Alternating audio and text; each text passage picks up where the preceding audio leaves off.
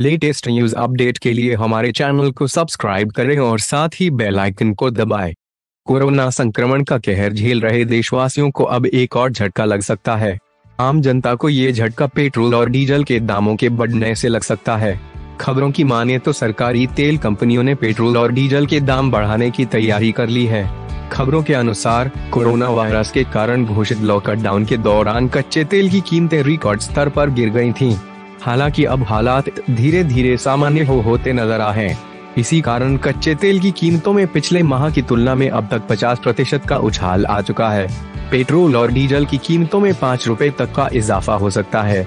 बताया जा रहा है अब सरकारी तेल कंपनियों द्वारा एक बार फिर से पेट्रोल और डीजल के दाम रोज रोज तय करने वाले सिस्टम को फिर से लागू करने वाली है। कंपनियाँ इस सिस्टम को इसी माह से फिर से लागू कर सकती है। इस संबंध में कंपनियों के अधिकारी आपस में बैठक भी कर चुके हैं। कहा जा रहा है कि अधिकारियों ने पेट्रोल और डीजल के दाम बढ़ाने की तैयारी कर ली है।